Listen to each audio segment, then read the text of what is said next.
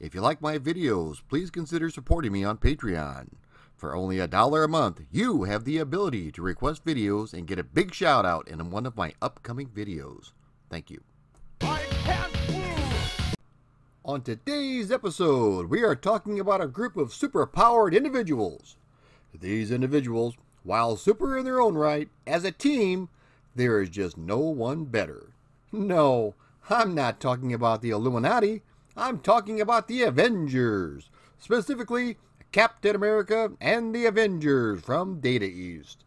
What's the story behind the strange assembling of the cast for this classic arcade game? Let's find out as we smash into the history of Captain America and the Avengers. Marvel superheroes have been featured in games starting as far back as Spider Man for the Atari 2600. This was followed up by a series of graphical text adventures for the Commodore 64 and Apple. The series was entitled Questprobe and featured the likes of Spider Man, the Hulk, and the Fantastic Four, each in their own separate adventure. Even Howard the Duck got a game that was released by Activision to tie in with his ill fated movie. The very first Marvel arcade game, though, was Captain America and the Avengers by Data East, released in 1991. Data East had been around for a number of years at this point, bringing out such arcade hits as BurgerTime, Karate Champ, Kung Fu Master, Bad Dudes, and Robocop. After seeing how insanely popular Robocop was for his company, Data East designer Akira Ito tried to secure more popular licensed brands. He looked to America, where Marvel Comics had been a staple for almost 30 years. Right off the bat, he wanted the big guns, specifically Spider Man and the Incredible Hulk due to Mr. Ito being the most familiar with the characters because of their successful TV shows in Japan. Unfortunately, Spider Man was tied up by Sega due to their upcoming arcade game to be released later in 1991. Instead, he went in a different direction, opting instead to go for Earth's mightiest heroes, the Avengers. Once again, though, Mr. Ito ran into trouble when it came to character selection. Only part of the Avengers team could be used. Due to licensing agreements with other companies, the Hulk and Thor were off the table immediately. This left the team with Captain America, Iron Man, Vision, and Hawkeye. This was long before the Marvel Cinematic Universe popularized these characters and made them a mainstream success. Perhaps Data East had a crystal ball, and by doing that voodoo that they do do, they were able to predict the future when it came to these popular characters. Captain America and the Avengers was released in the spring of 1991 by Data East. The game is a four-player scrolling beat 'em up with the ability to play as Earth's mightiest heroes, or at least some of them. When I was showing my son Max some early footage from this video, he asked me why Vision looked so strange. He said it looked like somebody had dropped him into a vat of bleach, and I couldn't agree more. I don't recall Vision ever having this costume in the comics, so I had to go back and research it, and sure enough, he does. The game opens with the Red Skull and his assortment of mini bosses taking over the world. The game is presented in a variety of comic style panels, which makes it seem like a living and breathing comic book. Everything has a nice feel to it, including the fighting, which includes loads of whacks and kabooms when inflicting damage on the enemy. Very similar to how the 1966 Batman series brought the comic book to life. You have a jump and an attack button. Pressing both buttons together will unleash your character's special move. Captain America will throw a shield. Iron Man unleashes a repulsor blast. Hawkeye shoots an arrow, and Vision fires a laser beam. Along the way, to aid you in your battle, you will see rocks and cans that can be picked up and thrown at your opponents. The game takes place across five stages of varying difficulty.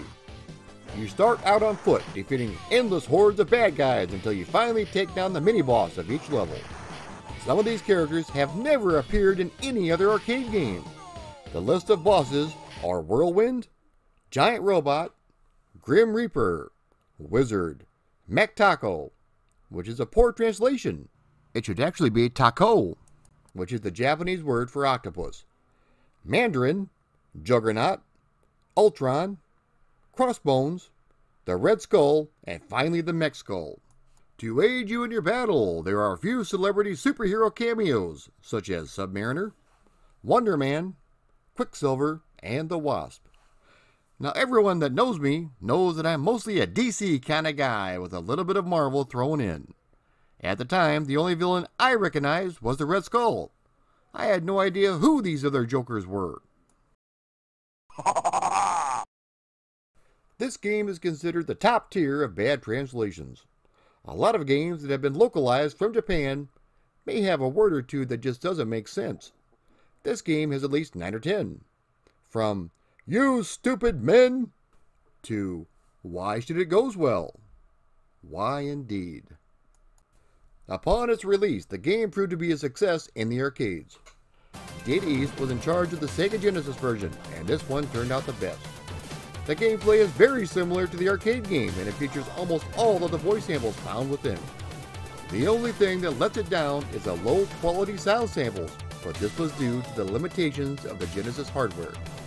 To be honest though, this could have been better, but what we have is pretty good. Next up is the Game Gear version. This is basically the arcade game, simplified to run on 8-bit hardware.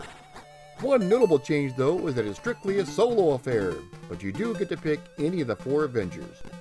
The graphics have been simplified as well with the viewpoint changed to just a standard side-scrolling 2D beat 'em up. The music is similar to the arcade game, but there are no digitized sound effects. The playability is decent, but not quite as good as the Genesis or arcade game. Developed by Mindscape instead of Data East's, which clearly was a giant mistake, is the Super Nintendo version. While graphically prettier than the Sega version, the gameplay is atrocious. The hit detection is way off, making an already difficult game almost impossible. The graphics are a bit more colorful and detailed than the Sega Genesis version, but the animation is missing a lot of frames. It's also missing approximately 90% of the sound samples found in the Sega Genesis and arcade version. After speaking with someone who was on the dev team who wishes to remain anonymous, he informed me that the reason that the game didn't turn out so well was because that dev time was cut in half and their lack of experience on the console. His bosses wanted to get the game out ASAP to capitalize on the arcade game's success. I was very excited to get this when I was a kid, as I knew how good the Sega Genesis version was, so of course, in my eyes, the Super Nintendo version had to be better. Talk about a disappointment. This is a giant turd of a game and should be avoided at all costs. Speaking of the wonderful development team at Mindscape, they took a crack at the Game Boy version. How do you think it fared? Take everything you knew and loved about the Super Nintendo version and strip it of its color, its dignity, and its manhood, and this is what you are left with. Horrible controls, slow, choppy animation, and totally average sound. Best to avoid it at all costs. There was also a Nintendo Entertainment version which took a lot of liberties with the property. The mission of the game is to rescue Vision and Iron Man from the clutches of the Mandarin. Then you have to go on to defeat Red Skull. The gameplay is okay, just not quite as tight as the arcade game. The graphics are nice and colorful, and there is some decent platforming action. In 1995, Data East would return to the superhero genre with Avengers in Galactic Storm. This is a one-on-one -on -one fighting game with pre-rendered graphics that look absolutely gorgeous. While the game has nice tight controls, the problem lies with the roster.